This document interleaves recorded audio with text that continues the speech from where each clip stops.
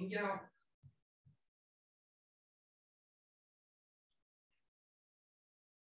Dinner time.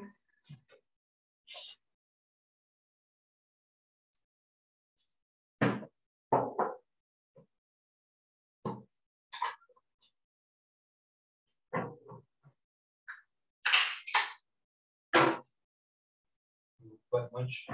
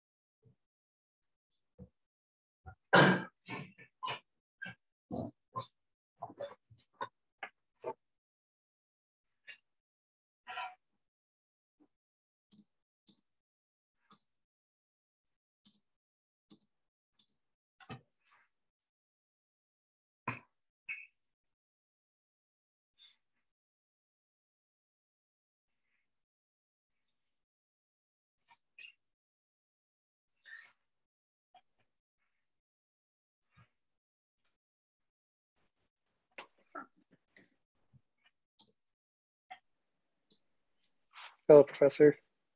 Hey Ryan, hey, you made it. Yeah, sorry, I, Thanks I, for I letting didn't. me in. Oh yeah, yeah, yeah. I'm I'm out of the office right now, but uh, but I, when I do get um, voicemails, it, it does send me an email. So yeah, I'm glad I was able to get you the link before uh before it started. Yeah, thank you for sending that link. Mm-hmm. Um, so, it, just talking about your email, you usually add some people if there's significant interest or if like something opens up. Yeah, yeah. Um, so I, I usually wait until after the first after the first week. Um, so I, I saw I saw an earlier email from you said your your your waitlist position one, and so I, I think you're pretty pretty safe. Um, you know, to to Okay. get in, into the class. Um, you know, because I, I know these technical. I mean, for this is a graduate course and a technical elective, and so these don't come up all the time. And so I Mhm. try to I try to be as accommodating as I can. It's just you know the more students it it, it becomes a little bit hard. Um, um, for me. But um, you know, I um, I do I do try to add more students for for this class more than more than other ones. Okay, good to know. Thank you. Yeah, but I but the department but you know the, another reason I wait till the, after the first week is that the department doesn't want to hear it right now because I, I I actually don't have any um, any powers to add students um, at this moment. So um, the admins in our department kind of have to um, what they do is they basically just increase the capacity of the class and so they don't want to hear anything during the first week and so because they have, they're busy with other stuff so I, I usually wait till after the first week to uh, to ask them that stuff Yeah. Okay, because I have I s- have another class. Um, it's like a 400 level, but I want to take this this Okay. class. Should do you think I should just drop that class and then hold on to this one and then? I would I would I would hold on to both for now um, you know Okay. just because just because you know um, you know because the department might I mean they've ne- they've never said no to me before but you know they, they might for for whatever reason so um, so I, I would hang on to the other class just in case. So yeah, don't lose that spot just to but but once but Got once it. Able but once I'm able to uh, once I get the okay from the department to to increase the capacity, then I'll, I'll let you know. You can drop then. Okay. Um, usually the deadline for dropping classes, I believe, is um, end of this week, right? Yes. Um, yes, that's true. Um, hmm. let me let me let me see how things shake up by the by the end of the week, and then I'll I'll, I'll let you know. Okay. Yeah, Thank usually you. before the weekend, then um, then the picture will become more clear. But yeah, usually usually I have a couple students drop um, during the first week, and then um, you know then then you can take up the spot, especially especially if you're first in line. Yeah. Okay.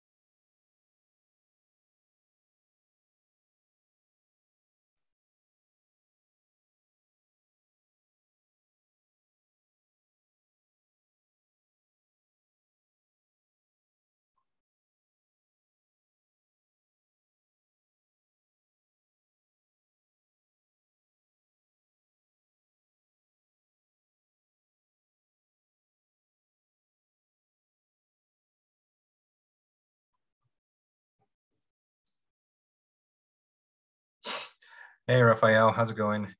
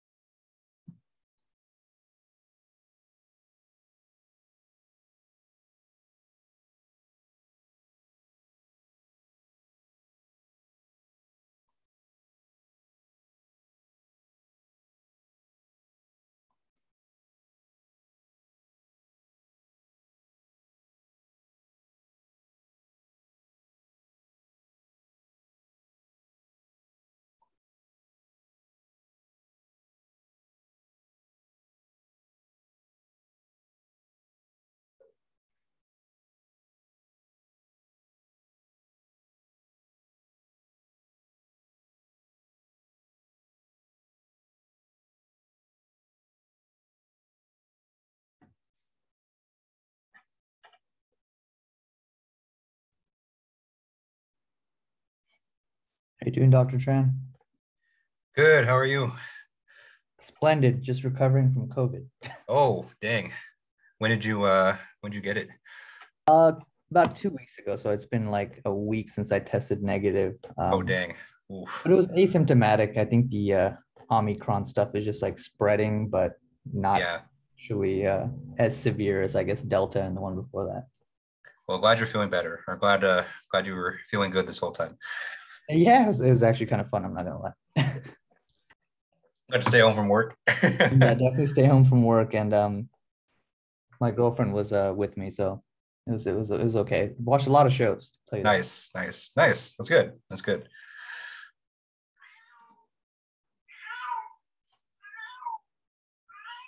Yeah. Angel, shut up.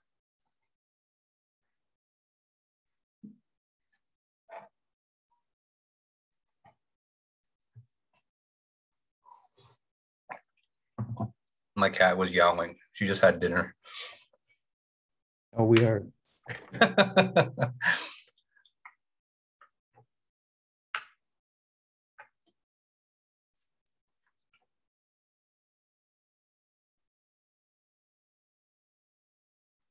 I got a quick question since we're what about two minutes away or a minute away from starting. Um, campus is still open, right? Um, it should be. Um, I don't think they're. Um, actually, I don't know if the buildings are open. Um, they might. They might try to force everyone to to be home by closing the buildings. I I didn't get any. Um, I know that they want everyone to stay home during this time, but I don't know if they're actually closing the campus because I think at least I, I know a lot of the staff I think is still going to campus. Um, and it was it was it was open during winter break because I, I went there a few times, but um, but yeah, I'm not sure if they locked it up for for the start of the semester. Okay, I'll, I'll I'll check in on that, but I'm definitely looking for another um after hours lab pass. So I think that's gonna come your way. Oh yeah, yeah, for sure.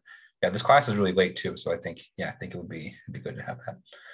Yeah, I mean, I think everything after I get off work is after hours in terms of Cal State Fullerton. So yeah, yeah. Uh, okay, it's uh, seven o'clock, so let's go ahead and get started. All right, uh, so hello everybody. Uh, so I want to say uh, welcome to the spring 2022 semester, if uh, no one said that to you already, and uh, welcome to this course. Uh, so this course is EGME 541, and the title that we have for it is Finite Element Methods for Mechanical Engineers. Okay, so my name is Professor Justin Tran, and I'm going to be your instructor for for this course. Uh, and for today, you know, what I what I thought we'd do is, you know, I mean, obviously we're still virtual. We're virtual. Um, you know, I think everyone's really sick of Zoom, but you know, this is this is kind of what we have to do. Uh, so for today, what I thought I'd do is is I would give just a brief introduction to the course, uh, what you can expect to learn, and and what skills you can expect to learn, uh, and then I'm going to go over the syllabus and the um, and the course website um, as well. Okay. Um, and so at any time today, um, you know, if you have any question about anything, you know, please don't feel, um, uh, please don't hesitate to ask. You can either turn on your microphone if you feel comfortable doing that, um, or you can put your, your questions in the chat. Uh, and then I'd be happy to uh, to read those and answer them. Okay. But once again, you know, my name is Professor Justin Tran, and um, away we go or actually, you know, before before we begin, um, you know, I know a lot of people are just kind of moseying in right now. Um, are there any questions? Uh, does anyone have any questions I can answer before um, before we really get started? I do have a lazy one. When is that intro assignment due? The email one. Uh, Sunday. So Sunday, eleven fifty nine. Okay, perfect. Thank you. Yep. Mm -hmm. All right, and so uh, let me just start out just a little bit of information about myself. Um, so my name is Professor Justin Tran. Uh, but I'm, I'm not particular about you know what you call me you know especially especially in this class because everyone here should be graduate students and you know we're all adults here. So um, you know you can call me whatever whatever you feel comfortable with. And so some people call me professor some people call me Dr. Tran some people just call me Justin. Um, you know if it's comfortable for you then it's it's comfortable for me. You know it's it's you know it's it's not that big a deal for me. Um, I, I I put this offer out there you know every semester. You know no one's taken me up on it yet um, maybe it's a good thing because you know maybe people are respectful, but um, you can even call me something like Dick Face, you know, and and I, I'd be okay with that because you know I grew up in the I grew up in an era where um, of online gaming and online communication. So you know I've been called a lot a lot worse things by uh, by 12 year olds on on Xbox. So you know, and they've they've told me a bunch of terrible things they've done to my mother too, which is really concerning. So, you know, nothing, not not not much of that stuff really bothers me anymore. So, you know, you can call me whatever you feel comfortable with. But but I will say that you know, if you are being disruptive in the class with anything like that, then I'll, I'll probably just mute you and ignore you. All right. So my my office um, is in the CS building, and so it's CS 526. I believe that's just upstairs of where our lecture um, is is taking place, um, and so that's convenient. Okay. Uh, I'm not there. I'm not there physically right now because um, you know you've heard, you've seen the email from the president that we're going to be um, work from home for the first two weeks. Uh, but after these two weeks, you know, I, I do plan on, on coming to the office, and so you can find me there. Uh, my email is uh, on the next line, and so my email is justran at and so that's uh, um, an amalgamation of my name. Okay, so it's the first three letters of my first name and my last name. Um, but I always tell people it's easy to remember because it's it, it, you kind of think of um, you know, I like I just ran a mile or I just ran a 5K. Um, and so I always joke that, you know, maybe I maybe I stole an email address from from a running club here at Fullerton, but um, you know, I haven't gotten any angry emails yet. So I guess I'm, I'm still okay. Uh, I grew up in this area. So I grew up in Cypress, California. And so if you're not sure where that is, that's about 10, 10 miles west of, of campus. And so I'm very familiar with this area. And um, in fact, I had a lot of good friends from high school come here to Cal State Fullerton for their, uh, for their degree. And so, you know, it's, it's great to be um, back in my hometown and, and teaching. So, um, you know, it's a great privilege for that. Um, a little bit about my educational background. I got my bachelor's from UCLA, my master's from UCSD, and my PhDs from Stanford. Uh, all of those in mechanical engineering. And so um, I've been in, in, in this department for uh, my entire life. Okay. And my research interests are in um, biomedical applications for engineering tools. And in particular, you know, I'm really interested in seeing how we can use computational fluid dynamics um, to simulate blood flow to study heart and blood disease. So a lot of my research is centered around, around that, either the, develop, the development of those tools um, or in the applications to actually, you know, um, solve some problems. Uh, and just by nature of, being a, an educator in STEM, I'm also interested in, you know, what are some effective ways to um, to teach STEM, you know, for um, you know, at all levels, you know, at, uh, at the college level, at the high school level, you know, I'm, I'm interested in, um, you know, what are ways that we can, we can do this thing better. All right, so learning objectives, and so um, and so you'll you'll get a lot of these throughout the semester, and so I love um, I love these learning objectives. And if you've never seen them before, um, what learning objectives are are um, they are basically statements or they're basically um, skills um, that you should be able to do, you know, throughout the throughout the course of the course. Okay. And so the way I, I, like to use them is this. So at the beginning of every lecture, I, um, I like to have a list of learning objectives for the day. Okay, so usually there's like two or three or four. And then by the end of lecture that day, you should be able to do everything on that list. Okay, and so let's take an example for today. And so after today, you know, what you should be able to do is to describe the use and utility of finite element analysis in engineering work. Okay, and so uh, what you'll notice for these learning objectives is that they always start with a verb okay? And I do that on purpose because a verb is something that you can do. A verb is something that you can um, actually practice and, and assess, you know, how well that you can actually do that, right? And so I, the reason I do this is, is, is a way for you to, I mean, for me, you know, it's a way to organize the content in terms of actually actionable skills, you know, which is what you're in school for, is to actually learn skills that you can learn on, on the job, okay? Um, skills that you can actually use in your professional life. Um, but I think it's also a good way for you to assess how well that you've learned each, um, you know, each each each each lecture and each topic. And so, you know, what I always encourage my students to do is that at the beginning of every lecture, you know, when you're writing your notes, write down what all the learning objectives are for the day. Um, and then by the end of lecture, what you should do is you should go back to the learning objectives that we wrote at the beginning and then read them and ask yourself, you know, can I do this, you know, after the lecture today? Um, and if you can, that's great. You know, that means you got everything out of the lecture that I wanted you to get. If not, then, you know, it might be a good idea to review the notes again, or maybe talk to me, um, or you get some help just to make sure that you can actually perform those, those tasks, okay? Um, and so learning objectives is, you know, something I'm gonna use a lot in this class, uh, but they're there to help you. They're there to help organize the, the topics and, you know, and to tell you, you know, what kinds of skills that you can expect to learn, you know, on a day-to-day, -day, on a week-to-week, -week, on a, you know, on on on this from this semester and from this course. Okay. Oh, and if you have any questions about anything, you know, today today's you know going to be fairly informal, and so you know, feel free to ask a question anytime. So uh, if you if you feel comfortable enough, you can you can definitely turn on your mic and ask a question like that, um, or you can put a question in the chat, and and I'd be happy to uh, to read those and answer them. All right, and so let's get into you know what this course is all about. And so you know the name of this course is Finite Element Analysis for Mechanical Engineers. And so let's start by describing you know what is finite elements and and why is it important? Okay, because um, I think you know at this point you know especially since all of you are graduate students, you've probably heard of finite elements before.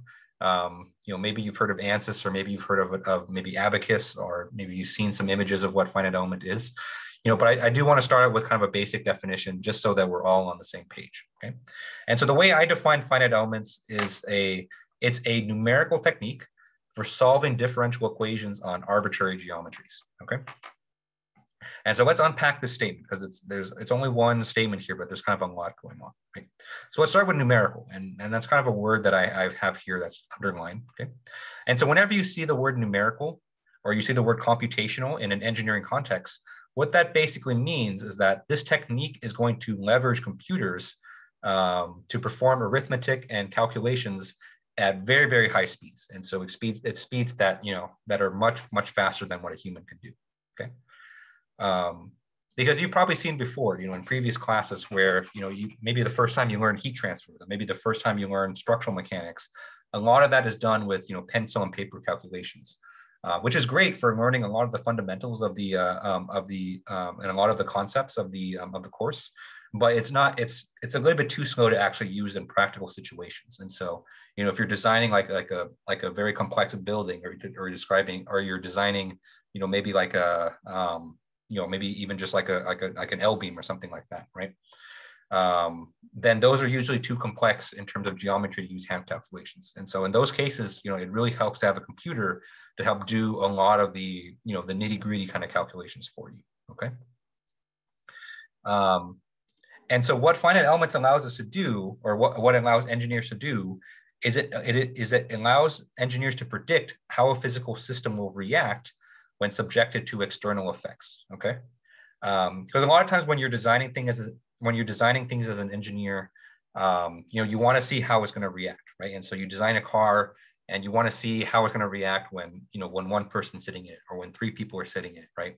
Um, and you want to do that without having to build an entire car, right? And so what finite elements allows you to do is to you know is to simulate this basically. And so you know you can you can CAD up your car in, in finite elements. You can put people in it. You can put you know like a like a 30 pound bag in the trunk, and you can see how the car is going to react. Okay. And that's really powerful because you know by simulating all these in a computer, you avoid having to um, to do perform a physical tests, um, which is which can be very expensive and time consuming. Okay. And in practice, you know, a lot of um, engineering systems, you know, fall into this category. Okay. Because um, most practical engineering systems, you're not going to be, you know, you're not going to be designing a simply supported beam. You know, you're going to be doing, you know, real geometries, which are, which have a lot of complexity. And so, you know, having a computer to kind of help you out with these is really, really useful. Okay. Okay. Um, and so with that, you know, let me let me uh, make some distinctions here between the types of analysis that you can that you can do as an engineer, right? And so uh, the first type of analysis, um, what I like to call, you know, pen and paper calculations, are analytical ones. And so these are um, these are I think kind of the first methods that that everyone learns when they're first taking a course. And what these involve is you know you you have a physical situation, and you have its governing equations, right? Um, and what you do is you basically solve those governing equations to get the solution.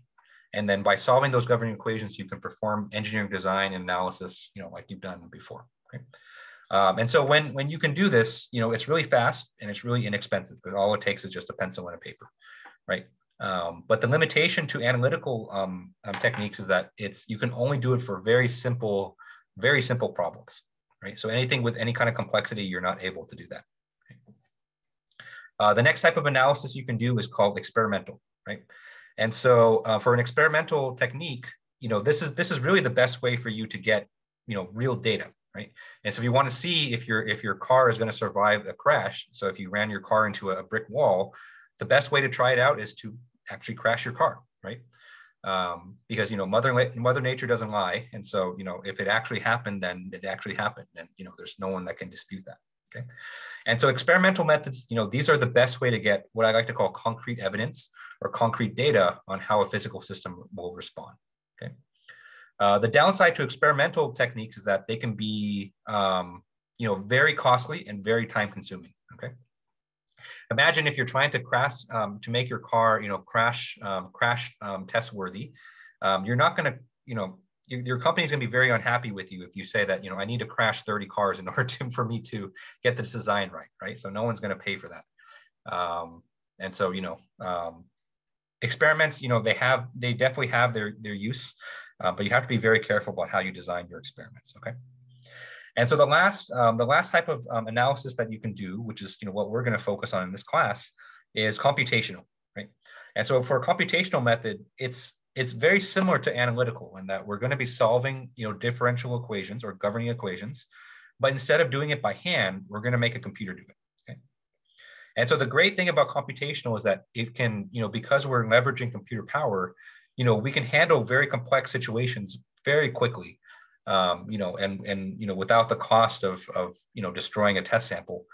Um, but the tricky thing with computational is that they can be you know very tricky to set up, right? And so that's what a that's you know what we're going to focus on a lot in this class is how do we set up a computational problem, you know, effectively so that you can get reliable results. Okay.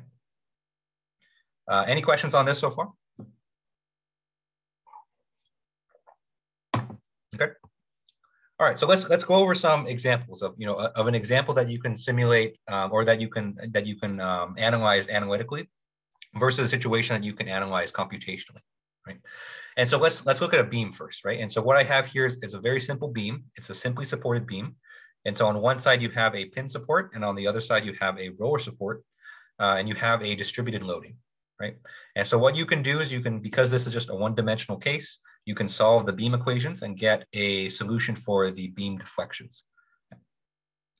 It is my favorite example, yes. All right, uh, but if you want to do something more complex, and so, you know, let's say that you want to design, you know, the beams that go into this, you know, very high-rise building, you know, this is really hard to do with, with pencil and paper calculations. And so what I'm showing you here is an example of a simulation uh, where they simulated, you know, they put some load onto the structure, Right? They put some load onto the structure and, uh, um, sorry, they put some load onto the structure and then they, uh, um, you know, and they simulated the response, okay? And so this is something that you can only do with, uh, with finite elements. Okay, uh, next we have a heat transfer example. And actually, you know, we'll be seeing heat transfer a lot in this class because it's, it's, it's relatively, you know, a, a relatively easy um, equation to solve compared to structures. And so if you wanted to solve a heat transfer um, problem by hand, you know, this is a situation that you can do where let's say that we have a um, heat transfer through a rectangular slab where one end of the slab is held at a certain temperature T1 and the other end of the slab is held at a temperature T2. And so from here, you know, because it's a simple one-dimensional case, you can solve for the amount of heat that goes from the left side to the right side. Okay?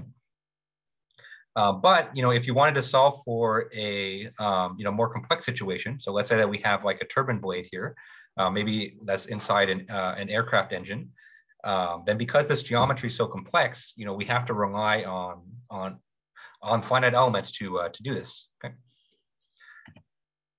Sorry, my uh, YouTube keeps uh, going off. Okay. Professor. Yeah.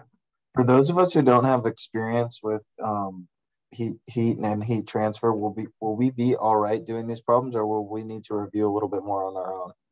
Yeah no you'll, you'll be totally fine. And so you know we i know um and, and actually you know i had a question about this too. I, I know for egme 410 is a prereq for this class um, but i'm gonna i'm gonna motivate all of the theory from from scratch right? So the, the reason i bring up heat transfer is because um you know, uh, and once once we get to the equation, you'll see is that the heat the heat equation is is you know relatively simple to um, to solve. Um, but we're going to be looking at it, you know, kind of actually purely from a mathematical point of view. And so um, we're actually going to be solving the equation from scratch using finite elements. And so, you know, you you actually need you actually don't really need any kind of heat transfer background to um, you know to do well in this class. Yeah. Yeah. Good okay, question. Though. Thanks, Professor. Mm -hmm. All right, and so finally, you know, I have an example for fluid flow. Um, and so we're not we're not going to get to fluids much in this class because you know fluids is actually kind of its own different beast. But I did want to show you that finite elements does apply to fluid flow as well. Okay, so here's an example where you can solve by hand. Uh, we have simple flow in a pipe. Okay, so you have our you know your parabolic profile there. Um, but if you wanted to solve a more complex case, then you would have to rely on simulations. And so this is actually an image from one of my colleagues, which um, which actually, you know, he's working on developing a new surgical technique uh, for certain patients. And so for this uh, for this particular case, what he proposed was they said, you know, let's connect these two blood vessels together here. Okay. And this can actually, um, you know, this can actually provide a lot of benefits for um, for patients with a um, what we call a single ventricle. And so those are patients that are only born with a single heart chamber. And so what he proposes is that, you know, if we make this connection here, that's going to help their, their blood flow efficiency quite a bit. Um, and actually, and he and he did the simulations to show that it it performs really well.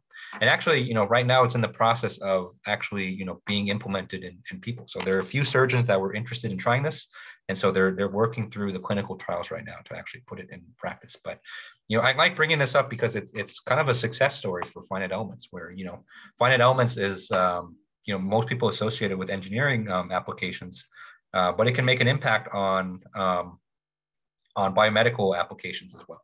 Okay. All right, any questions on any of this? yeah, Professor, what is the difference between EGME 540 and this one? Great question. So um, actually, you know, we can go ahead and skip up to that one um, now. Um, so I know I know a lot of people here um, took EGME 540 last semester. Um, so this is going to be a different class. And so, you know, the big difference here is that EGME 540, we focused a lot more on the application. And so, um, you know, we use ANSYS kind of, you know, thoroughly throughout that class. Uh, so this class is going to focus a lot more on the theory. Um, and so, you know, in this class, we're actually going to be learning, you know, what are what are the mathematical details and what are the implement, implementation details that go in to writing a finite element code. And so, you know, what we're going to do is we're going to take differential equations, um, the heat equation, just like I kind of mentioned before, and we're gonna we're gonna go through the process of you know how do we take this differential equation and set it up in a finite element um, way and actually write the code to actually solve this you know um, effectively. Um, and so we're going to do, we're actually going to be doing very little ANSYS in this class. And so we'll, we'll do just a, a, a little bit just to kind of, I think, because I think it gives some good context for what finite elements is, but we're going to be focusing almost exclusively on the theory and the implementation. Okay? And so we're going to be doing a lot of math. We're going to be doing a lot of uh, MATLAB programming, you know, along the way. So this is kind of the, you know, I would say kind of EGME 540 is kind of the the front the front facing, you know, what most people think of when they think of finite elements. This is like all the background information of you know how how does finite elements actually work and how do we actually implement that um, you know write the code our question. So is the school going to offer um, EGME 540 in the in the fall again?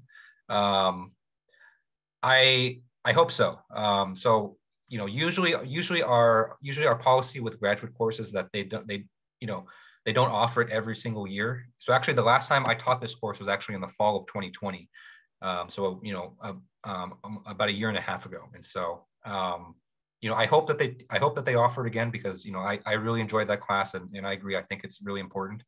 Um, and so I I'll talk to the department about it, but um, but usually they're the the graduate courses are, are on a little bit longer of a cooldown.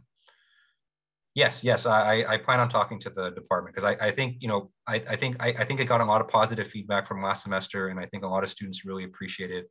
Um, so yeah, I, I will, I will, I will um, ask to offer it again. Yeah. Mm -hmm.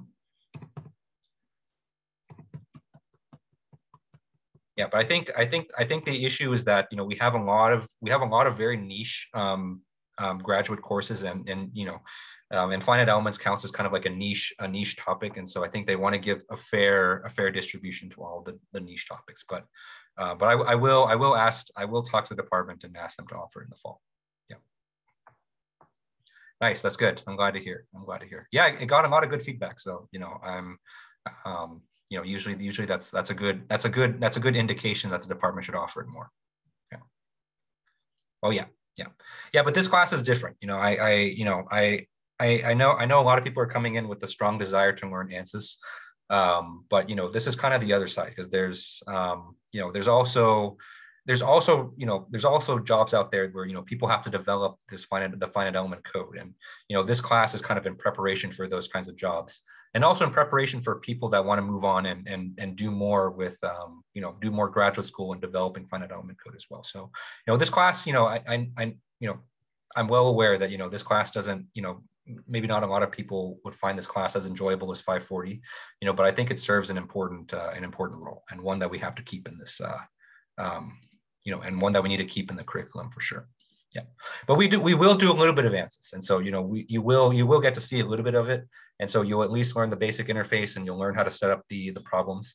And what I'm hoping is that you know by learning all the theory and learning all the details of the implementation, um, it'll actually you know help you um, become a, a better ANSYS engineer because you know, um, people will tell you from last semester that ANSYS will sometimes give you, you know, errors for for seemingly no reason at all. it'll give you an error message, or it'll give you, you know, it'll tell you it can't do something, and you're kind of left wondering, you know, what's what's wrong. And a lot of those questions can be answered by, you know, by by having a strong grasp of the theory and, and having a strong grasp of, you know, what's actually happening underneath the hood. So, you know, this class I think is is in is in well is in good support of those ANSYS skills and um, you know, I think it's I think it's a good complement to 540. Okay. okay. And so with that, uh, let, us kind of um, bring it back. And so, you know, I want to talk about what I like to what I like to call the finite element process. Okay. Um, and so, you know, in order to set up a finite element computational problem, um, you know, there's there's a process that you have to go through, right? And so it's it's more than just kind of uploading a file and just and just hitting go. Okay. And so, you know, I think the cool thing about this class is that you'll actually get to see the details about what all these different steps actually mean.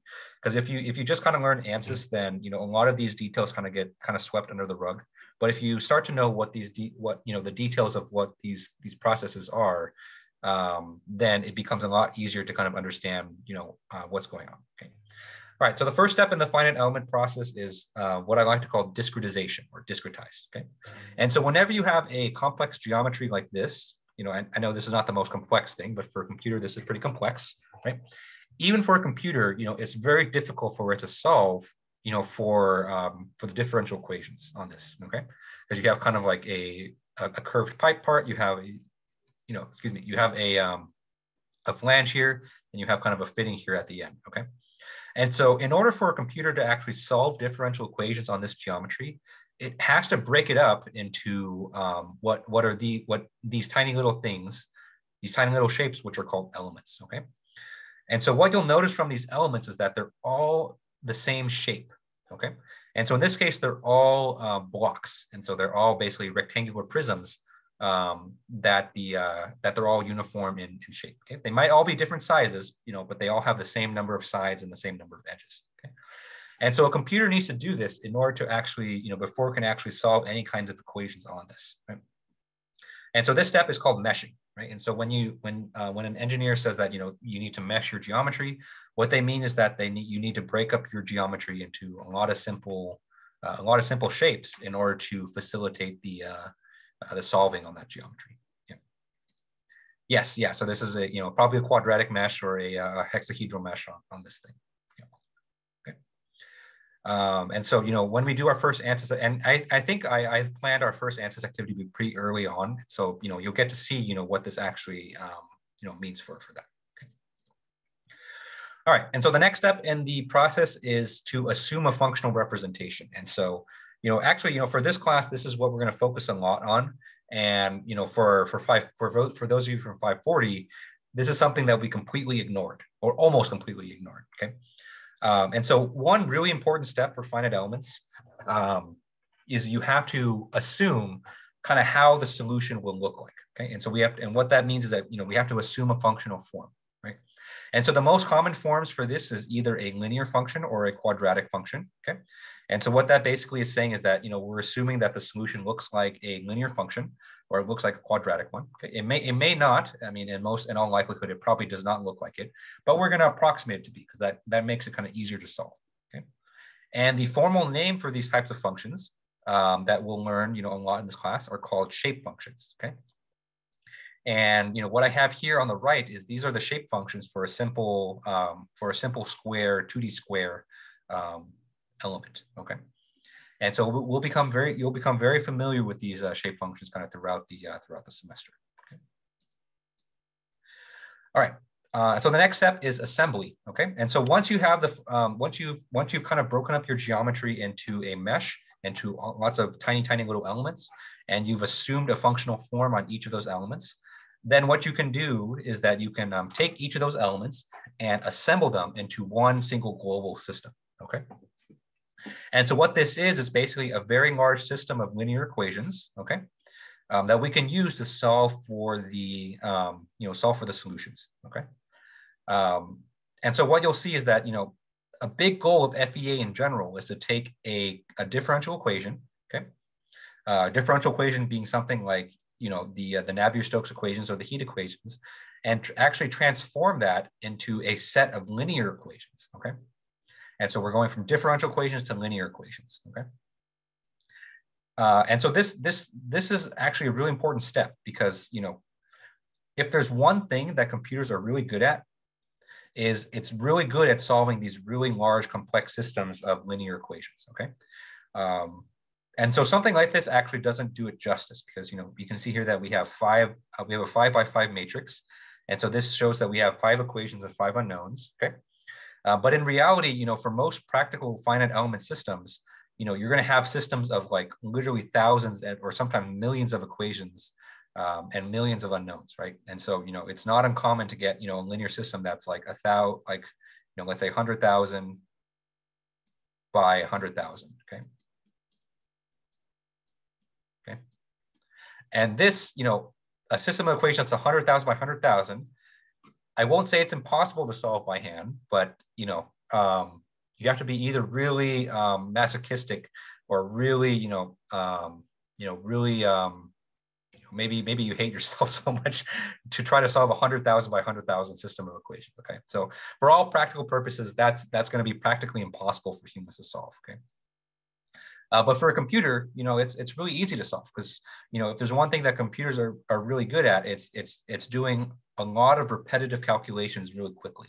Okay, and so you know the really big benefit of finite elements is that it's able it's able to take a complex differential equation system and transform it into a system of linear equations because then from there you know, this is when we tell the computer to, you know, just do your thing and then it, it can solve it from there, okay? Right. Uh, and so the next thing that we have to do is we have to apply boundary conditions, okay? Uh, and so we'll talk about boundary conditions a lot in this class, but what boundary conditions are is they, they basically de define how the solution is behaving at the, you know, at the boundaries of, uh, of the system, okay? Right. Um, and so this is really important because it's, it's, a, it's a necessary step for solving a differential equation, okay? Uh, and so we'll talk about, you know, what the different types of boundary conditions are out there and how they relate to, to physical problems, okay? Okay, and then from there, the next step is to solve, okay? And so once the, once the global linear system is set up and once we've applied the boundary conditions, we can then tell the computer to solve for the solutions. And so this is the step that, you know, you, um, you basically never see. And so this is basically when the computer is gonna be doing most of the work, okay? Okay.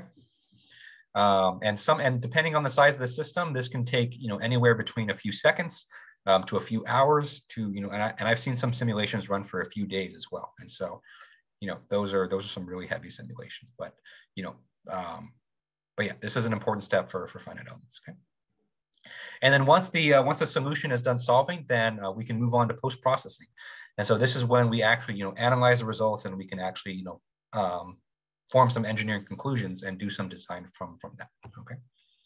Uh, we won't see too much of that of this this semester because you know again we're going to be focusing on on the theory, um, but you know it's important it's an important step to know from finite elements because this is when you actually take those results and, and actually do something useful with them. Okay. Um, okay. Uh, any questions on on this so far?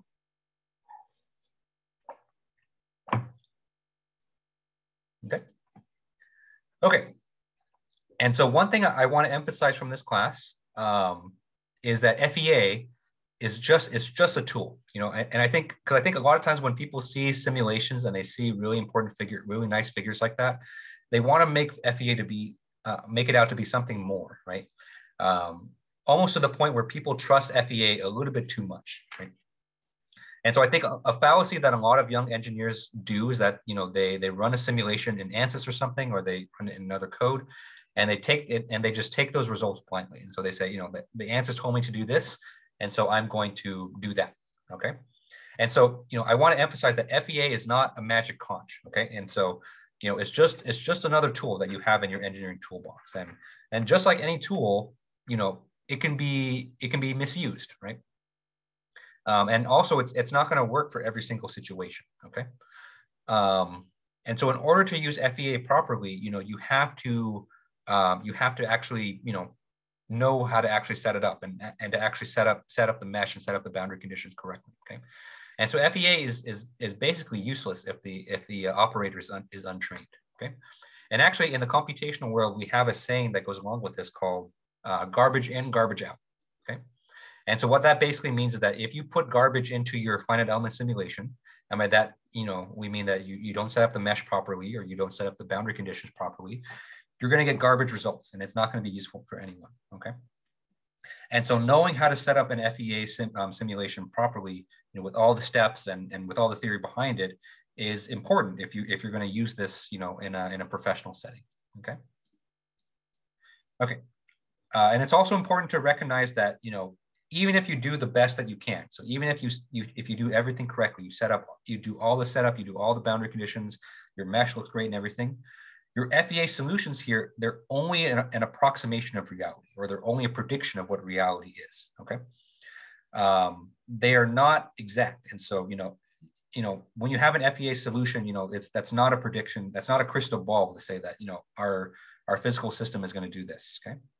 We want them to be as close as we can, um, but they're never going to be exactly the same as what reality is, okay? Um, I mean, a lot of times it's, it's going to be, you know, decimal places off of what it should be, but, you know, just recognize that it's, it's never going to be perfectly exact. Okay.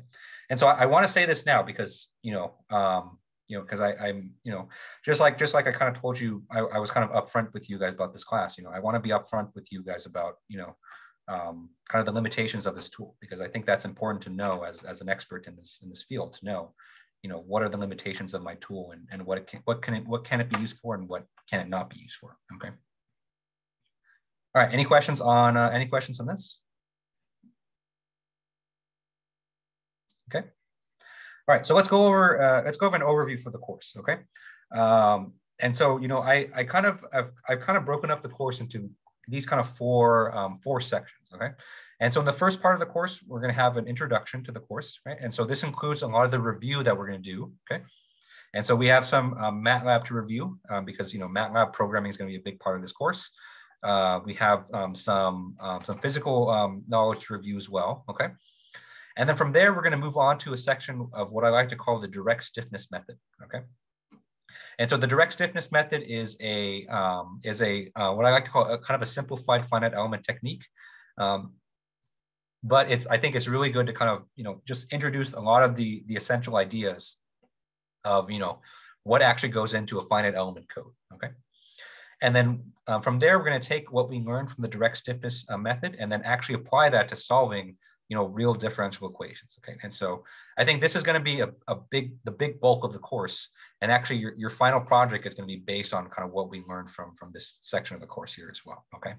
And so this is going to be, you know, I think, I think kind of the most important part of the course right here. Okay. And then from there, um, you know, we're going to cover some miscellaneous topics on finite elements of, you know, what's, what's kind of practically, practically important to know, you know, to apply finite elements in, in practice. Okay. And here's kind of a bigger breakdown of, you know, of what each of what each section kind of um, entails. Okay. And so all throughout, you know, um, let me move this. Okay. Uh, and so all throughout, you know, uh, a lot of what we're going to be learning is going to be, you know, um, applied in the software. Okay. And so, like I said, you know, we're going to do a little bit of ANSYS, not not too much, but you know, just enough so that you you get the basics and can kind of understand, you know, what the end goal of finite elements is but a lot of the focus of this class is going to be in the MATLAB implementation. Okay. And so we're going to be using MATLAB to basically write our own finite element code. Okay. Okay. And so, you know, uh, I think a I think a fair question to ask, um, you know, especially for this class, you know, is you know why do we need to bother to learn the background knowledge to begin with, right? And so why can't we just learn ANSYS, you know, and just and do that, okay? And so, like I mentioned before, you know, finite element simulations, you know, they are very powerful. You know, I'm, I'm not, you know, I don't want to downplay how useful and powerful they are for, for an engineer, okay? Um, but remember, it's, it's just a tool, okay? And just like any tool, you know, it has its limitations and best practices, okay? And in order to understand what those limitations are and what those best practices are, you know, you need to understand the theory. You need to understand what the background knowledge is, you know, just so that you don't try to apply finite elements to something that's, you know, that's practically impossible, okay? Um, because you know we want to say that finite elements is great, but you know you want to make sure that you use it in the proper uh, in the proper context. Okay.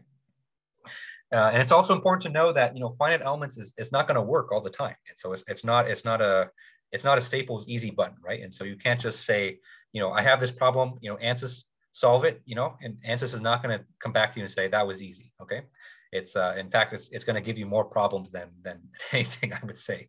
Okay.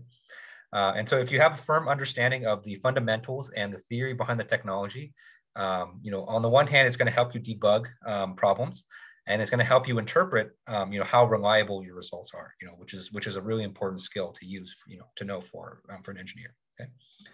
Um, and also, you know, um, when you leave this class, you know, you're basically going to be considered an expert in finite elements. And you know, what I say is that, you know, as an expert, you know, it's your responsibility as an expert to really know you know how to how to best use your tool and what its what its limitations are.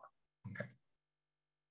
All right. So an example for this that i like to give is a veterinarian right? And so for a vet um, you know let's say that your pet is sick um, you know you take your cat to the vet and you expect your vet to know you know these uh, what i like to call procedural skills. Um, although nowadays the vet never does this they make the nurses do this but you know you expect your vet to know you know how to give a shot to an animal, how to take a blood sample, uh, maybe how to perform an eye or an ear check, okay? Uh, but in addition to that, you know, you expect your vet to know, you know, the conceptual knowledge behind it, right? So, you know, you're you expect your vet to give you a reason why, you know, you're giving it your your your uh, your pet a shot, right? You know, so your vet's not just sticking random needles and injecting random chemicals into your pet, right? And so, you know, you expect your vet to tell you why it's, it's doing that, right? And so that that comes with the conceptual knowledge, the theoretical knowledge, right? Uh, you expect your vet to know, you know, why an animal is sick, you know, and you expect it to tell you, you know, what you need to do uh, in order to get to be better. Okay. And you expect it also to, um, you know, interpret animal behavior as well. Okay. And the same goes for finite elements, right? And so, you know, under these skills, And so, you know, what I like to consider in these skills is, um, you know, procedural skills. This would be like using ANSYS, okay? Right? And so being able to, you know, click all the right buttons and, and you know, upload the files correctly in ANSYS, you know, that those are procedural skills, you know, which are, of course, very important to know, okay? But you also need to know the theory behind it, okay? So just so that, you know, you're applying it correctly and you know how to debug issues when they come up. Um, and if you've used ANSYS before, you know that issues come up a lot. Okay. And so knowing the theory behind it will help you, you know, debug those, those issues. Okay. Okay. And so once again, you know, um, I just want to emphasize that this class focuses on theory. And so, you know, we're, we're going to be using ANSYS a little bit, but it's, it's definitely not going to be the focus. Okay. And so the ultimate goal for this class is, you know, is for you to be able to write and, um, and to implement your own finite element code. Okay um, you know, and we're not going to be we're not going to be programming something on the level of ANSYS. You know, that's you know that obviously has a huge um, company behind it and a huge team of engineers. But you know, um, I want you to be able to, to program a, a relatively simple finite element code, you know, to solve a, a heat transfer problem in 2D. Okay, and so that's that's basically what your final project is going to be. Okay, and so if you are interested in the practical application of ANSYS, you know, that's that's more taught in EGME 540. Um, and again, you know, that was taught just last fall, but you know, you know, I will I will talk to the department to see if they can offer it next fall as well. Okay. Okay. Um, so any questions on um, on the course outline before we go to the syllabus? Okay. Uh, question. So can I give an example of what we were dealing with in MATLAB? Sure. Uh, actually, let me go ahead and exit this. Okay. So actually, let me open up one of the codes from before. So this is from last year. Let me see. So this is a good one. Well, actually, my MATLAB license is expired. I need to uh, I need to um, to renew. So actually, let me just open this up in Notepad just so you can kind of see. Okay. Right. And so you know you're going to be writing code like this. Okay. So basically, you know, um, what you're going to be doing in MATLAB is, you know, we're going to be forming a uh, the system of equations in MATLAB. You're going to be forming a very large matrix and then you're going to be using MATLAB to solve it. Okay, so a lot of it is going to be kind of defining variables like this, um, doing calculations, assigning matrix values just like that. Okay, and then you're going to be doing it, you know, um, and then you're going to be asking, um, you're going to be assigning boundary conditions, and you're going to be solving. Okay. yeah, so it's uh I, I have a license. I just I just need to I just need to renew it. uh, but this is a but this is just kind of a, a, quick preview of, of the code that you that you'll see. And and I, I know it I know it looks kind of crazy right now, but you know we'll we'll go through this kind of step by step you know throughout the semester. So I'm not I'm not just gonna I'm not just gonna uh, throw you to the wolves. Okay. Um, and so you know I know MATLAB I know MATLAB is is you know it kind of triggers a lot of feelings in a lot of people, but you know if there's any if there's another goal that I have for this class is you know I want everyone to leave this class you know with a little bit more comfort with a little bit more confidence in, in their MATLAB skills because you know programming I, I, think is a really important skill to, to learn you know for, for an engineer you know especially moving forward you know where a lot of our society is going to be data driven it's going to be you know have a lot of a uh, um, you know a lot of um, you know programming that's going to be involved and so you know the more programming that you know you know the uh, the better um, the better position you're going to be in, in in your career. Okay.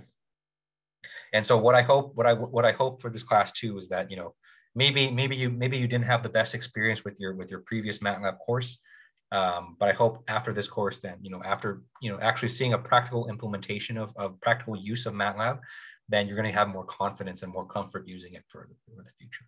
Okay. All right, um, so let's talk about the syllabus. Okay, so first thing I want to talk about is office hours. Okay, and so my office location is uh, CS 526. Um, and so obviously I'm not there right now because I'm in my I'm in my home. But uh, um, you know, but after the two weeks here, uh, you'll you can find me in that office. Okay. Um, or you can or you can come to office hours through Zoom. Okay. And so you can um, check Canvas for the Zoom links, and I'll show you how to do that later. Okay. And so my office hours times are going to be uh, Mondays 11 a.m. to 12 p.m., uh, Tuesdays from 9 a.m. to 10 a.m., and Thursdays from 1 to 2 p.m. Okay. Um, and so I do this, um, you know, and I make these uh, I make these hours the way they are just to kind of um, be as flexible as as um, as I can, okay? Because I know everyone's schedule is different. Um, but at the same time, I know that you know everyone here is a graduate student, and I know most of you are working during the day, and so for a lot of you, you know, these times don't work at all. Uh, but the unfortunate thing about my schedule this semester is that all my classes are in the evening. So actually, right before this class, I, I teach another class, you know, from 5:30 to 7, um, and then on Tuesdays and Thursdays, I teach a class from 4 to 5:30, um, and I have one more class on Mondays from 2:30 to 4. So my afternoons are actually really booked, unfortunately, with with teaching. And so, um, you know, if these if these times don't work for you, um, or if you if you want to talk to me and you can't come to office hours, then you know, then then just let me know. And so, you know, I I I've left other um, rooms, um, other spots in my schedule to meet with uh, to meet with students. And so, you know, if these times don't work, then we can find a time that works for you. And you know, um, and I've I've also met, you know, for for my graduate students too. You know, just because I know, you know, you guys are, you know, you guys have a lot of you have jobs during the day.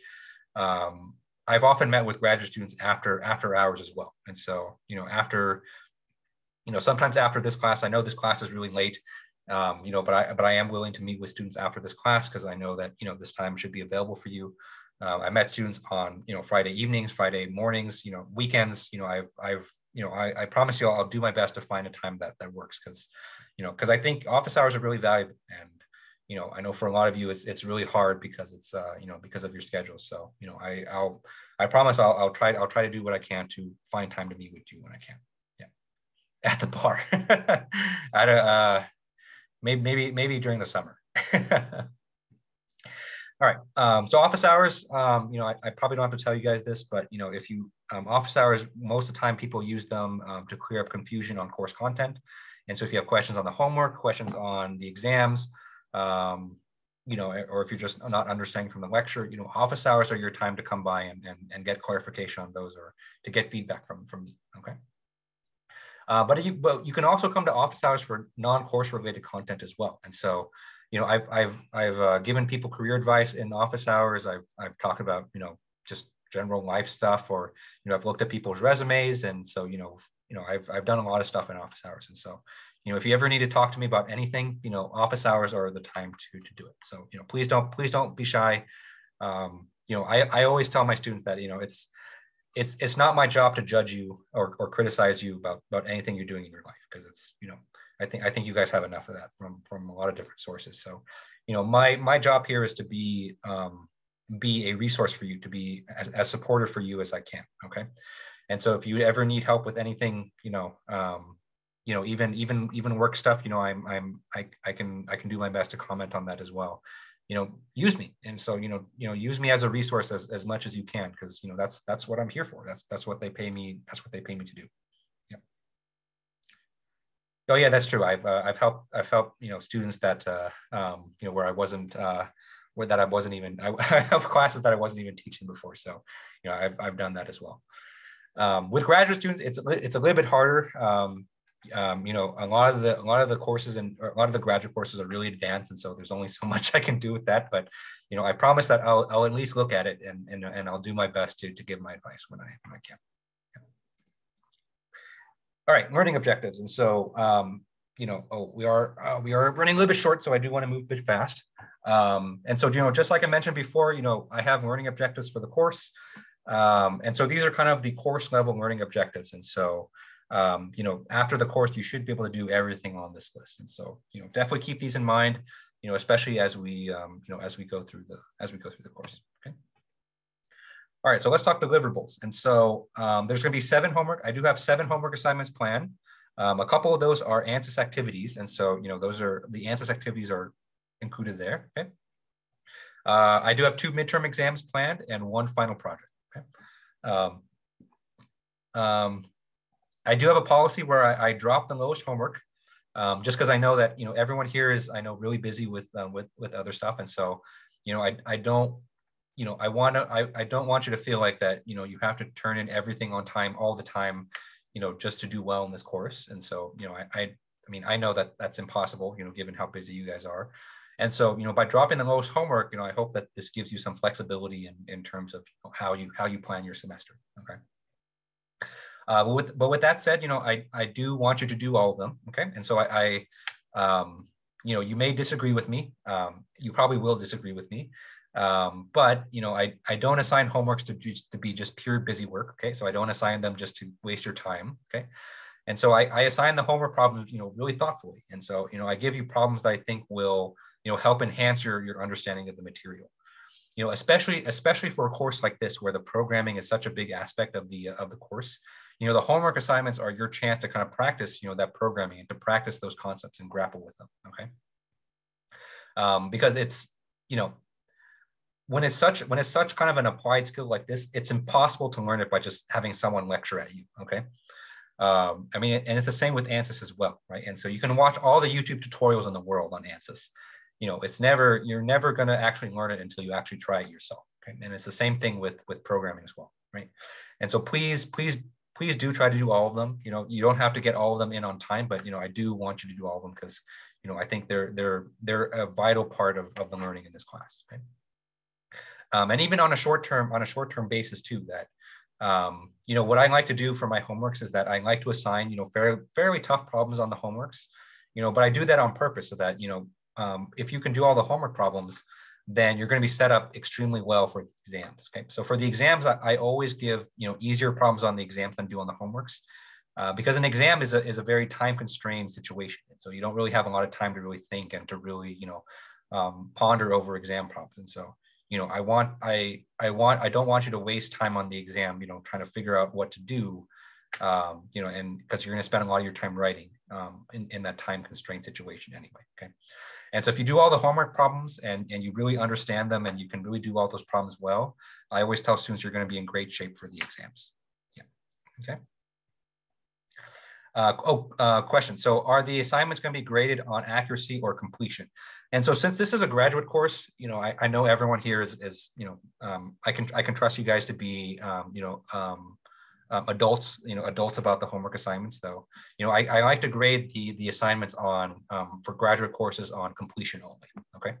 And so I'm, I'm just gonna check to see, you know, if you did, if you gave an honest effort for the, uh, for the, for the problems. And if I could see that you gave an honest effort, you know, I'm gonna give you full credit for it, okay? Um, so with that said, you know, I'm I'm I'm not going to give you too much feedback on your homework assignments, and so a lot of it's going to be on you to uh, to, to check your homework, uh, to check your homework solutions against the uh, against the posted solutions, and if you have any um, any um, kind of um, you know if you don't really understand anything, it's it's going to be on you to kind of come to me and, and ask you know for help. Okay. Um, but you know, for graduate students, you know, because you know everyone here is, is older, you know, I like to give you that flexibility of, you know, just grading the assignments on completion. Okay. All right, and so here are the dates for the um, that I have planned for the um, for the exams and for the final project due date. Okay. Uh, and so just like I mentioned in the introduction email, you know, I even though you know even though we're we're, we're required to um, I'm required to um, to give this um, class virtually for the first two weeks. I do plan on, I do still plan on streaming all the lectures, um, you know, virtually, you know, for the entire semester. Uh, so the only thing that's going to change after the first two weeks is that I'm actually going to be physically in the classroom. Okay. Um, and so, you know, if you if you're going to be on campus during the lecture times, you're you're definitely welcome to come to the lectures, and you can view it live in person. Uh, but if you can't make it to the room, then you know, no worries. You can you can just view the YouTube link, um, or you can you, you can just view you can view view it on Zoom, and all the lectures will be recorded. So I'll post it on YouTube as, as well. Okay. Um, and so I think I think that's I think that's kind of a nice thing to do, especially for you know, especially for a lot of the students in this class, because I know a lot of you are working at the same time. Okay. The only exception to this policy is going to be on the days that we have exams. Okay. And so for the exams, I am going to require everyone to come in person to take the exams. Okay. Um, and that you know and that basically just helps me keep the exam fair for, for everybody okay and so here are the dates that I've, I've planned for the exam and so i have one on march 9th and i have another one on april 27th okay? And so if you can put those dates in your calendar and plan to come to campus on those days um, then those are going to be the exams okay? So right now there are no plans to offer the exam virtually. Um, you know of course of course you know there's there's going to be exceptions because i know covid's still a thing and you know there there's going to be some emergencies too but you know but please do please do try to make um, those dates um, for the exams okay uh, and your final project is going to be due on Monday, May 23rd. And so that's going to be the Monday after finals week. Okay. And so I'd like to push the due date kind of um, as late as possible, you know, just to give you, again, give you some more flexibility in when you turn it in. Uh, questions. So uh, what will the structure of the midterms be? So will it be pseudocode or will it be actual problem solving using math? That's a good question. And so you know what you'll see what and what will what you'll learn a lot in this class is you know a lot of the um, problems that you're that you're going to do is that um, even before you get to the coding um, there's a lot of setup and there's a lot of kind of equations that you have to set up by hand on paper first. And so what the exams are going to test you on is how well you can set up the problems on paper, you know, kind of prior to actually solving it in, in programming. And so, you know, what I'm going to test you on is, you know, how well do you take, you know, take this physical situation or take this differential equation? How well do you discretize it? How well do you actually work through the math and finite elements and set up the problems, you know, to solve for in the computer? Okay. Uh, question, so are the exams gonna be open book uh, and notes or closed one? And so for the exams, what I, I like to do is I let you um, bring a cheat sheet. And so I let you take a, an eight and a half uh, by 11 sheet of paper. You can write whatever you want on it, and then I let you bring that into the exam.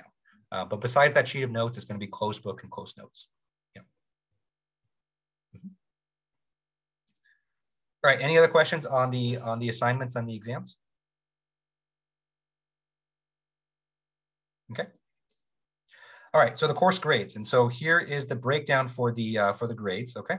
And so, um, you know, homework's gonna be worth 10%. Each of the exams are gonna be worth 20%. And the final project is gonna be worth uh, 50%, okay? And, oh, sorry. Oh, this is, uh, this is a typo. So this is, uh, this is not true right here. I forgot to take that out. All right, and so I, have I've, I've gotten some comments already about, you know, the final project is, is worth a large percentage of your grade and, you know, and I am aware of that, okay? Um, and the reason for that is, you know, the final project is kind of a culmination of, of all the programming and, and theory, um, you know, that we're going to be learning in this class. And so, you know, 50% is, you know, kind of reflects how important that project is, okay? Um, so with that said, you know, I, I, I, it's, it's a large percentage of your grade. And so, you know, you know, again, like I said before, you know, I, I promise to give you, you know, as all the support that you need for, for the final project, right? Um, and so, you know, if you if you're having issues with the programming or you're just not getting anything, you know, please just, you know, you know, please just reach out to me, you know, because I because I want because I want everyone to succeed. I want everyone to do well on the final project. So, you know, um, you know, so please, please, you know, just reach out to me and and you know, and we can we can always work we can always work something out. Okay. All right, and so um, once all the grades are in, you know, um, then I'm going to assign a letter grade based on these breakdowns. So I think this is all fairly standard, okay? Um, and so I also have a um, policy of, um, of adjusting final grades, okay? And so what I mean by that is, you know, I like to have the final grades be, you know, um, the average final grade for everyone in the course to be at a certain threshold, okay? And so for graduate students, um, you know, I know I know that um, you you need a B minus in order for the course to um, to complete. And so what I like to do is I like to make sure that the, at least the course average is at that B minus threshold. And so, you know, what what I do is that you know after the after the semester is done, after all the grades are in, I take the course average, and if that if that course average is less than 80%, then I uh, I will add a flat amount of points to everyone's grade until it reaches that 80% threshold. Okay. And so let's say that, you know, after all the grades are in and the average grade is a 77%, then what I'll do is I'll add three points to everyone's grade until the average is at 80%, okay? And so that those three points will be added for everyone, okay? Uh, question, so are the final projects individual or group? It'll be an individual project. And so everyone's gonna write their own code and everyone's going to write their, write their own report. Yeah. Um, Right. And so, you know, that's that's my policy on on the grading. And so and so I, I don't I don't do curving, I think in the traditional sense. And so I'm I'm not going to curve the individual exams or the final projects. And so I kind of I kind of wait until everything is in the grade book before I make any adjustments. And any adjustments that I make is, is going to apply kind of equally to everyone. Okay. And so I, I, usually don't do individual adjustments on grades, you know, except for kind of extenuating circumstances. Um, you know, and so I, I kind of do all the adjustments as a group, just like that. Okay. All right, any, uh, any questions on grading policy here? Okay. All right, textbook. Um, so the textbook's not required, um, but I would say both these textbooks are, are, are pretty good. Um, and so, you know, um, don't feel pressure to pick one up, you know, especially, you know, because I know costs for everything's are, are going up. Um, and if you and if you ask my opinion on the textbook industry, you know, I, I honestly think they're, they're the mafia you know they they kind of take advantage of, of students and they charge these absurd prices for textbooks that you know that just kind of rob honestly rob a lot of students blind. And so you know i i, I usually don't require textbooks for my classes but i i do give you the references that i use um, to to organize the course okay? And so for this course you know i'm, I'm using these two textbooks to to organize it but I'm, I'm i'm taking basically bits and pieces from each textbook okay And so if you if you are planning to pick them up, you know these these are the two that I recommend. Okay, uh, but but you don't need them for the course because you know what I'm going to do throughout the course is um, you know I'm going to be posting all my lecture notes um, online, and actually all my lecture notes are already online, so you can view them um, already. Okay, and for the homework um, for the homework problems, you know I make up all my homework problems myself. And so I will give you the full problem statements. And so, you know, you won't have to look up problems in the book and I won't assign any readings or anything like that. Okay. Uh, but these textbooks are they are pretty good, and so you know I, I do I do like these textbooks a bit. And so you know if you can find a cheap version of these of these textbooks, you know I would say go ahead and pick it up. Um, but again, it's not a requirement. Okay. Uh, and even better, you know if you you know let's say that you just happen to find a free version of these textbooks when you're sailing the high seas, you know I would say that that's a great opportunity too. But you know I won't say anything more on that, you know unless I because I'll probably get in trouble. Okay. All right, course website. And so, you know, I'll be going, I'll be giving you a tour of the website after this. Um, but basically, you know, I'm going to be very active on the website. Okay, so any content that I create for the class, you know, whether it be lecture lecture notes, lecture slides, homework assignments, homework solutions, um, exam solutions, study guides, you know, um, sample codes, you know, skeleton codes, um, you know, all of that's to be posted on Canvas. And so, you know, basically everything I create for this class is going to be available to you. And so, you know, I would highly recommend that you check the course website on a regular basis so that you get, you know, the most up-to-date materials. Okay. Uh, I'm also to be making announcements on Canvas. Um, and so, you know, those are going to be emailed to you because I think that's the most reliable way to reach everyone. And so, you know, make sure you're checking your email on a regular basis. Okay. Uh, and I also created a Discord server for the uh, for the course as well. Okay. And I know a lot of you have already joined, and so thank you for that. Okay. And so the Discord channel is um, basically the um, the purpose of it is to give you guys a space where you can interact with your with your with your classmates. Okay. and so you know this is something I kind of started in virtual instruction, but but honestly, I you know I, I think I'll keep it because you know a lot of the uh, a lot of the activity on the Discord server has been has been really great. Okay. And so what a lot of people, what, what happens a lot is, you know, say, say you're struggling with a homework problem or say you're struggling with a portion of the code, you can post on the Discord server, say, hey, you know, I'm struggling to understand this. Can someone help me out? And then people answer you. And so, you know, and I think that's that's that's that's kind of a beautiful thing, you know. So you guys helping each other out with the, uh, um, you know, um, learning the content. So you know, definitely join the Discord server if you haven't already, because it's uh, it's a great uh, it's a great place. Okay? Um, and I will say that you know I, I kind of leave the Discord server up to you guys, and so I, I don't really check the Discord server all that much uh, mostly because I, I, use Discord for all my personal stuff too. Um, and so, you know, if you, um, you know, and so that's really kind of a place for you guys just to interact without me, you know, looking over your shoulder. Okay. Uh, but but if you do have a question that that only I can answer, then um, then you can then you can tag me. And so if you tag me um, in the Discord server, then I will come in and, and answer your question. Okay. Uh, another thing I'll say about Discord is that you know I, I, I do allow my students I do allow you guys to message me directly on Discord. Um, but please, please only try to save that for emergencies. So, you know, um, the first time I, I, did this, I, you know, I let students kind of message me directly on Discord. And, you know, um, there are some days where I had, you know, 20 or 30 students, you know, direct messaging me on, on Discord and it, and it kind of got out of hand.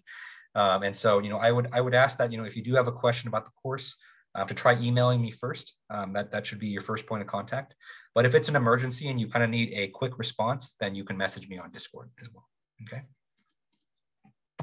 Okay, uh, course policies. And so um, I do allow late homeworks. And so, you know, if you can't make a due date on homework, but you need maybe a day or two, you know, please do still submit it, okay? Um, but I will dock 10% of the points, you know, each day that it's late, okay? And you can do this for up to a week after its original due date, okay?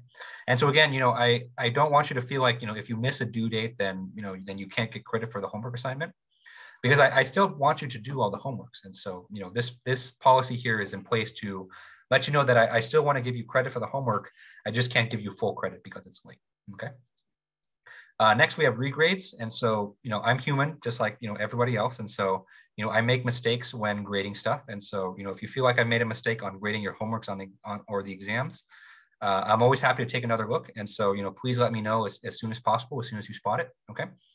Um, and, uh, you know, and I give you a week deadline for that as well. And so, you know, a week after I've given something back to you, um, you know, if you if you want me to look at it after a week, then you know I probably won't look at it because you know it was so it was so long ago.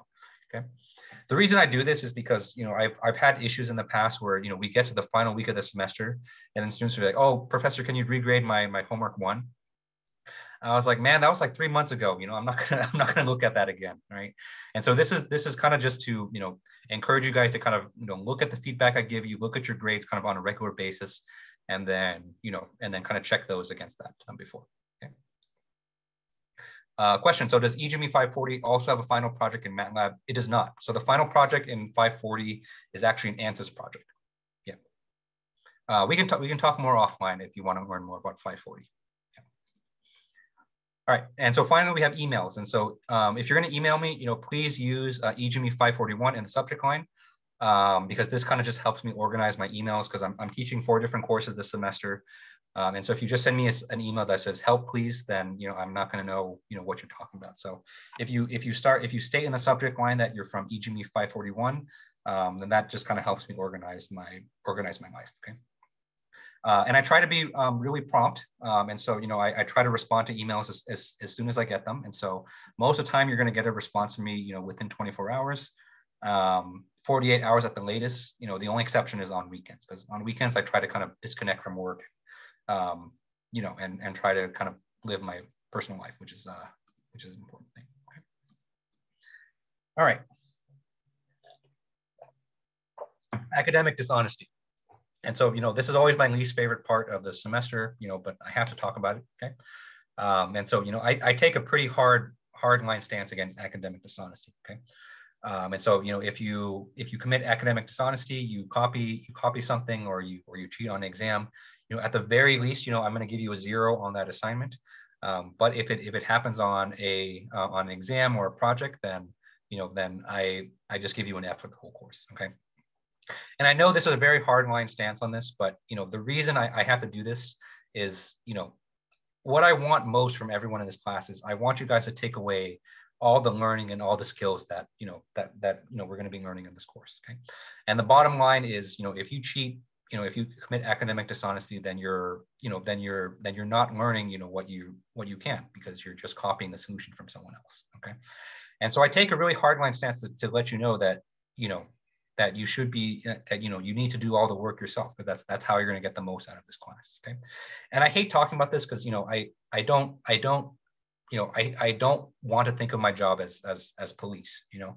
I'm not here to police you and i'm, I'm not here to to you know just to catch cheaters okay? That's that's not i don't think that's part of my job description okay? My job my job here is to facilitate your learning and to and to make sure that you guys learn as, as much as you can okay? And so to that end you know I, I know i have kind of a hard stance on this but you know, if you ever at any time during the semester, you know, if you ever feel like you're struggling in the course, you you feel like you're not keeping up or you're struggling with the homework assignments, you know, just just please please come talk to me. And I promise you, you know, that I'm I'm not going to judge you. I'm not going to criticize you. You know, that's because that's not my job. My job is not to, you know, to, my job is not to berate you or criticize you or anything like that. You know, my job is to help you out as, as best I can and be a resource and be a support for you because, you know, you guys are here to learn skills to advance your career you know and and you know and i and i respect that you know to the you know to you know you know to to at the deepest level so you know i want to make sure that i'm, I'm here to support that as, as as much as i can okay and i'll tell you that you know i've i've had situations where you know students will come to me like less than 24 hours before an exam be like you know hey professor you know i haven't i haven't gone to the lecture in the last five weeks i haven't turned in any of the homework assignments you know i'm really scared of what i'm going to how i'm going to do on the exam you know can you help me out? And you know what I told that student is like, all right, you know, we have 16 hours until the exam. Let's come up with the plan. Let's come up with the game plan to get you caught up so that you can do well on on the exam. Okay. You know, I'm not going to judge you. I'm not going to say, you know, you don't deserve the grade. Okay, because I, I I think that's that's totally false. Okay, I think everyone deserves to do well in a course. Um, you know, you just have to kind of you know do the best that you can. Okay, and I'm and I'm here to support you as, as best I can. Okay, and so please please use me as a resource because you know if you if you come to me you know there's always there's always something we can do there's always there's always something that we can work out you know if you come to me you know earnestly you know in good faith that you know i i need help learning this material but if you commit academic dishonesty you know then at that point there's there's honestly nothing i can do because you know i have this policy our department has the policies and you know from there you know it's you know that's that's it but you know if you if you if you come to me then i promise you i'll do everything i can to help you and you know that's that's kind of my earnest plea to you guys to you know please, you know, I want I want everyone to, to succeed and I want everyone to get as much learning they want from this course. And you know, just academic dishonesty just kind of takes away from that. Okay. All right. and so with that, you know, I, I want to remind you of, of, the first homework assignment. And so the first homework is to um, just email an, an, introduction to me, okay?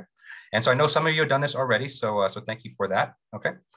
Um, and so, um, you know, just just email an introduction and just uh, um, email to me and you'll get full credit, okay? And you can share as much or as little as you want with me. You know, I have questions here, but this is just to kind of help get the conversation going in case you, uh, in case you're not sure what to say, okay? And if you can do this before Sunday, 1159, then you know you can get full credit for it. Okay. Uh, oh, question. So MATLAB is not my strong topic. What textbook is good to learn MATLAB? Um, let's let's connect offline about this, and uh, let's let's talk about that um, of what you can do. Yeah. Um, okay. Uh, any questions on this before we get a very very quick tour of the of the course website?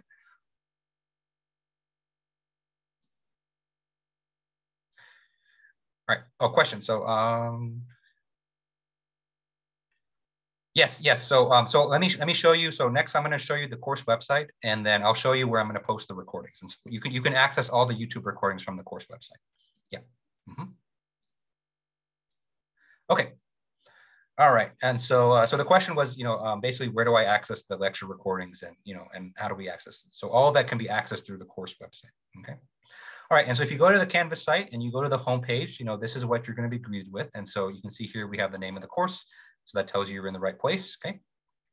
Uh, there's my name, there's my email. If you click on my name, you get this kind of weird kind of Tinder profile that I've uh, that I've made for my name, okay? And so, you know, I'm always really embarrassed to uh, to view that, but um, so I, I never read it, but you can you can you can read it if you want, okay? Here we have a description of the course um, that we kind of just spent the last lecture going over. Here we have the course level learning objectives, which we talked about. Okay. Uh, here we have the syllabus, okay? And so if you want to um, look at the syllabus, you can you can do so from here, okay? Um, but we just kind of went over all of the important stuff from the syllabus, right?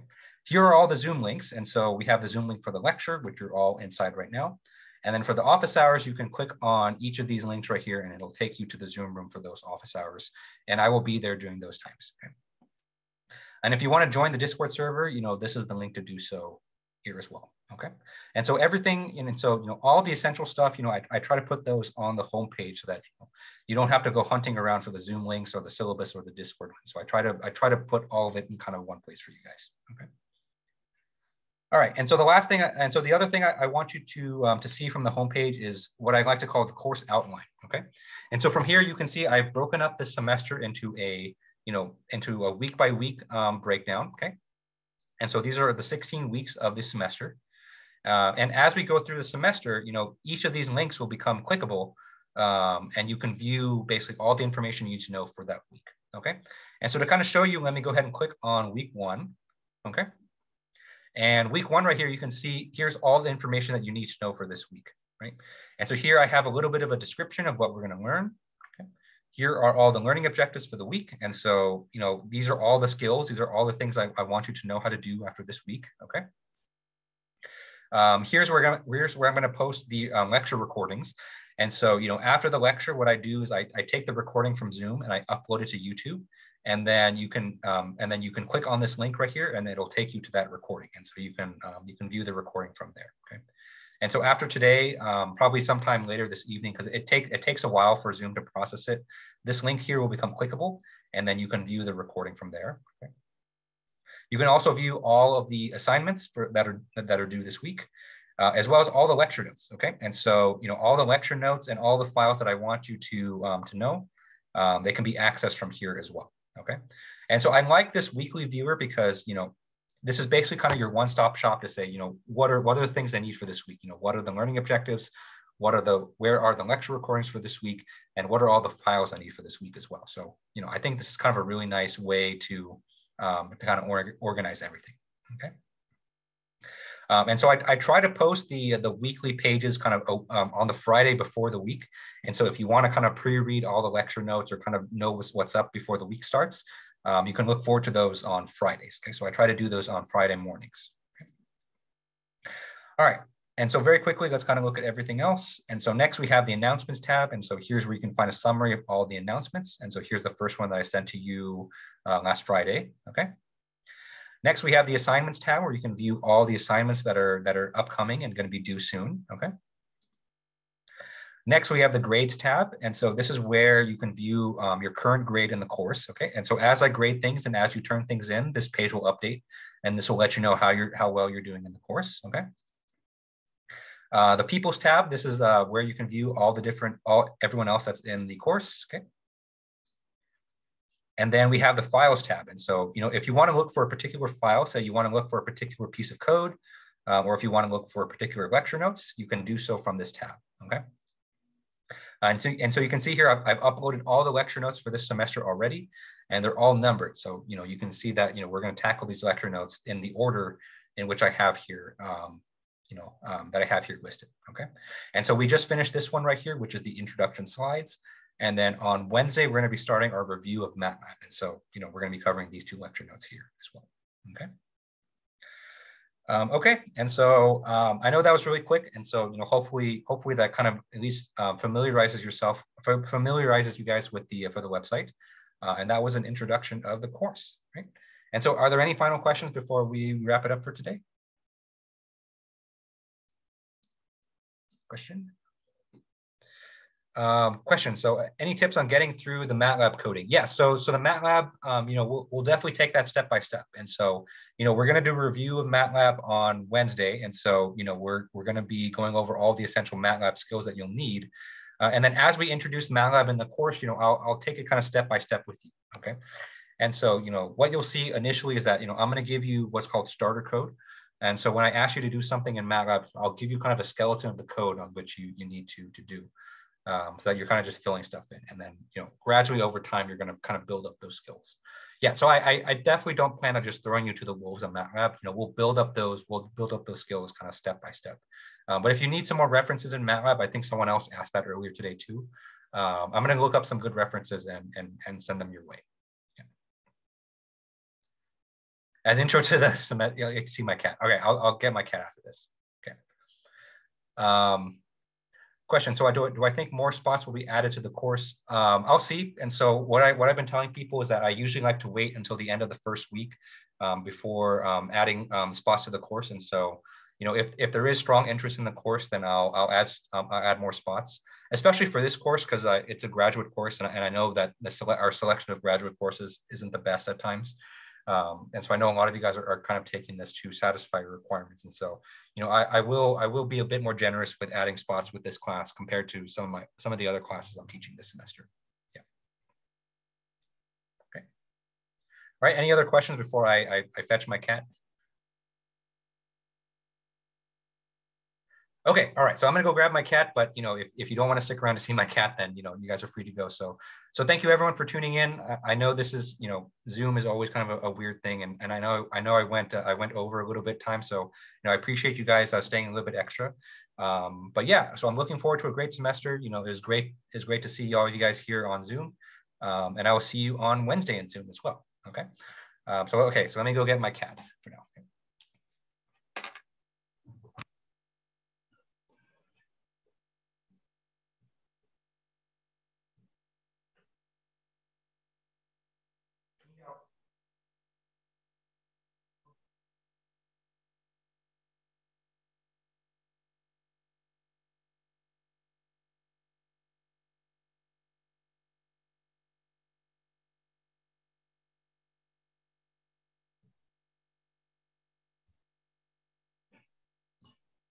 All right, so here's my cat. Unplug this. Her name's Angel. She's an old lady. She's uh she's seven, she's almost 17 years old. So she's just kind of uh enjoying her enjoying her golden years. Yep.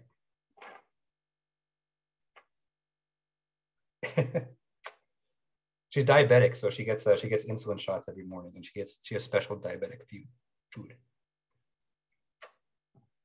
Is my cat a fluids a fluids or structural person? She's um, she likes hard food, so I, I'd say she's a structural person.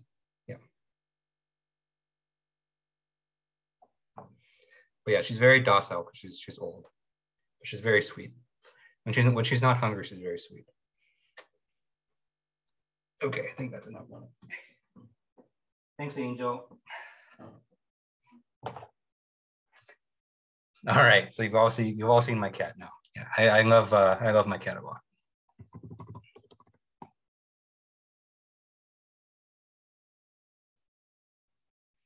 yeah, you're welcome, guys.